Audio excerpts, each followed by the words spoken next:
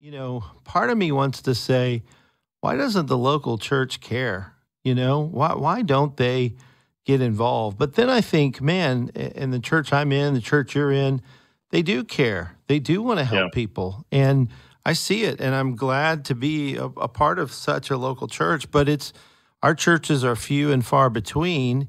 And so I think it goes to local churches don't know what to do. They view it as a medical problem only, which there are some medical things going on here. Uh, certainly, we want naloxone and and you know or Narcan to uh, revive people who are overdosed. That's sort of a medical thing, but people are carrying Narcan on them who don't have anything close to a medical degree, you know, and uh, it's yeah. people have to.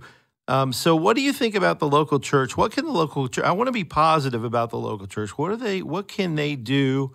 And um, and how can we help them? This is a very difficult subject to think about um, uh, and to talk about, um, only because there's so much nuance going on here. Um, you know, when you're when you're talking about uh, a problem that's killing people to the degree that that uh, fentanyl is, or drugs in general. Um, and then you talk about the the church's involvement in it. You got to be very careful not to uh, to attach motivations um, that just aren't uh, that simply aren't there. And it, and we need to talk about a, a subject that that's almost like a in my in, in my opinion, it's almost like this this giant reinforced wall that um, that is just barely being chipped away at um, mm. um, by certain people. And that wall is what you just talked about, just how people think and have been told and taught about what the true problem is. Um, uh, most people I know that are that are Bible believing believers um, at at I don't want to like fault them, right? Because it's just what the general consensus is they are, have been convinced and taught and assured that this is a, a medical issue. Um, and, uh, you know, they, they, when it comes to a medical issue, you need letters behind your name. The professionals are the ones that know how to deal with those things. And those professionals are dealing with those things. So yeah, the poor drug drug addicted person that they really want to see get better.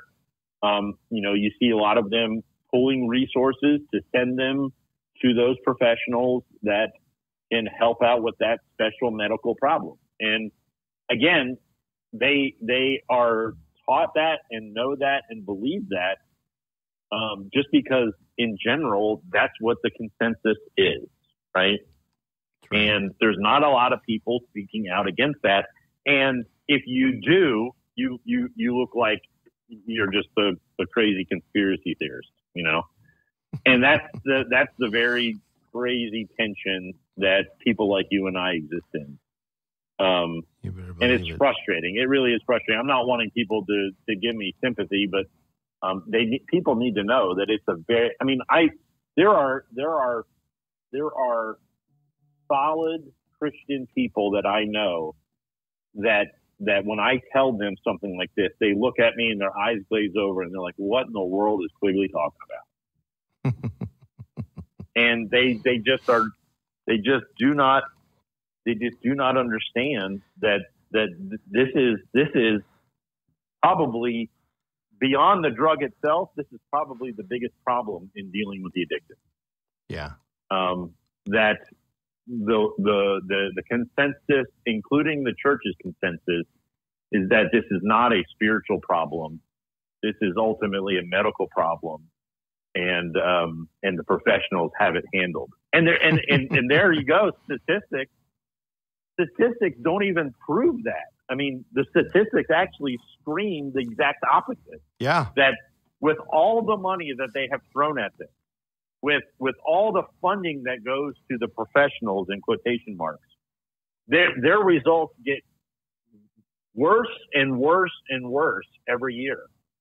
And nobody questions it. Nobody nobody's like saying, Well what what are we getting for the millions and billions of dollars that is going to this industry of trying to help the addicted?